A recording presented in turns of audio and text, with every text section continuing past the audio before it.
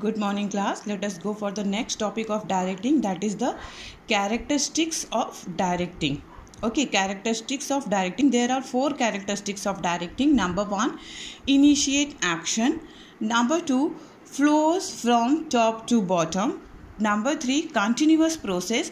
And number 4 present at all level. Okay i'm repeating. Number 1 initiate action. Number 2 flow from top to bottom number 3 continuous process and number 4 present at all level ये क्या है these are the four characteristics of directing clear now initiate action initiate मतलब means to start initiate means to start directing means to start the action okay what will happen uh, in a in an organization what the manager will do manager will plan manager जो होता है वो क्या करता है? Planning कर देता है। और प्लानिंग करने के बाद वो डायरेक्ट करता है कि कैसे उस काम को कंप्लीट करना है, जो हमने प्लान किया है। जो हमने टारगेट बनाया है, उसको कैसे स्टार्ट करना है। ठीक है? तो जो ये कैसे स्टार्ट करना है या प्लानिंग को कैसे इम्प्लीमेंट करना है it is known as the initiate action directing means चलो काम शुरू किया जाए। जैसे प्लानिंग होती है कि भाई, चलो आज कुछ बनाते हैं तो ये सामान चाहिए, ये सामान चाहिए, ऐसे चाहिए, वैसे चाहिए, पूरा सोच लिया। सोचने के बाद कहते हैं अच्छा चलो शुरू करते हैं बनाना। तो आपने जहाँ पे ये सोचा कि, अरे, चलो शुरू करते हैं बनाना that is known as the initiate action initiate action का मतलब होता है to start the work initiate action means to start the work तो डायरेक्टिंग का सबसे पहला कैरेक्टरिस्टिक्स है कैरेक्टरिस्टिक्स है to start the work directing वहीं से शुरू ही होता है। जहाँ से वो समझाना शुरू करता है, वहीं से काम शुरू हो गया। ना उसका काम तो वहीं से शुरू हो गया। अगर आपको प्रोजेक्ट फ़ाइल बनानी है, अगर आपको प्रोजेक्ट फ़ाइल बनानी है, हमको इंस्ट्रक्शंस मिला सीबीएसई से कि भाई बच्चों को से आप प्रोजेक्ट फ़ाइल बनवाइए। तो जब हमने, जहाँ हमने वो लेक्चर शुरू किया, जिस दिन हमने वो लेक्चर शुरू किया फ़र्स्ट पीरियड कोई भी फ़र्स्ट पीरियड हमने शुरू किया कि आज आपको सी बी एस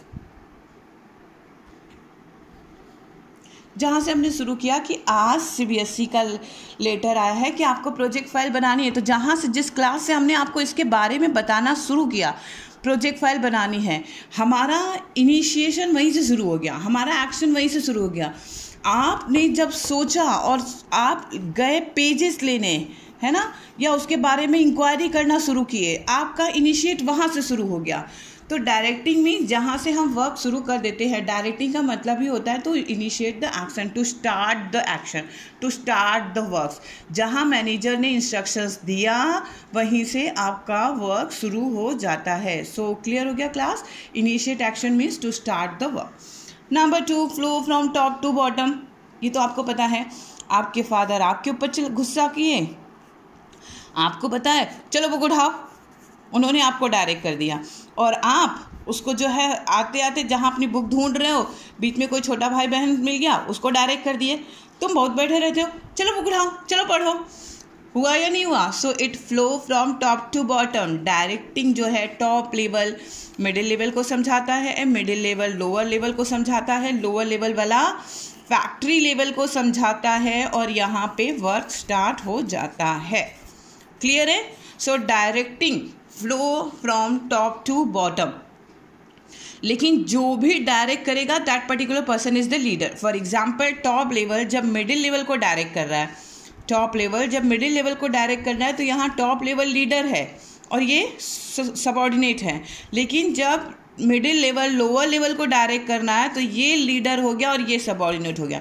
जब आपके फादर ने आपको डायरेक्ट किया या आपकी मदर ने आपको डायरेक्ट किया तो that particular person is the leader आप क्या हो गए? सबॉर्डिनेट हो गए। और जब आपने अपने छोटे भाई बहन को डायरेक्ट किया तो आप क्या हो गए? लीडर हो गए और वो सबॉर्डिनेट हो गया। So it flow from top to bottom continuous process है। मैंने शुरू ही किया डायरेक्टिंग को एज अ कंटिन्यूस प्रोसेस रोज़ रोज़ समझाओ, तभी भी वैसे ही बैठे रहते हो। कितनी बार भी बोलो, बुक उठेगा ही नहीं तुम्हारा। बस mobile mobile mobile so this type of मतलब आपको वर्ड सुनने को डेली मिलते होंगे ना। इस तरह के डायलॉग्स आपके लाइफ का पार्ट हो चुके हैं। तो वो सब लाइफ वो सब जो है it is also the part of the directing mummy कहती, मन कर रहा है कि मोबाइल उठा के फेंक दे। डायरेक्ट आपसे नहीं कह रही है कि, बच्चा बुक उठा लो, कुछ पढ़ लो। सीधा सीधा एकदम ठीक छोड़ा उन्होंने कि, मन कर रहा है आपका मोबाइल उठा के फेंक दे। So it is also the part of the directing वो आपको डायरेक्टली नहीं बोल रही है कि बुक उठाओ। लेकिन इनडायरेक्टली आपको समझा रही है कि मोबाइल बंद करो और बुक उठा लो। ठीक है तो it is a continuous process चलता रहता है दिन भर आपको सुनने को मिलता होगा दिन भर ये कहा ये नहीं हुआ, ये ऐसे रखना था, वो ऐसे रखना था तो so this type of happening will happen in the company also company में भी ऐसा होता है। जो सुपरवाइज़र है, उसने जब अपने सबॉर्डिनेट को लीडर ने जब अपने सबॉर्डिनेट को डायरेक्ट कर दिया कि ये बनना है, फिर एक चक्कर काट के आएगा, अरे भाई बॉक्स का साइज़ बड़ा हो रहा है, छोटा करो अच्छा ठीक है, फिर एक चक्कर काट के आएगा हाँ ठीक है। फिर एक चक्कर काट के आएगा। तो ये क्यों कॉर्नर क्यों टूटा जा रहा है? ठीक से बनाओ, देखो क्या दिक्कत आ रही है, उसको फिर से उसको देखो। सो ये डायरेक्टिंग जो होता है, वो कंटिन्यूस प्रोसेस है, चलता रहता है है ना? कहीं भी ये स्टॉप नहीं होता।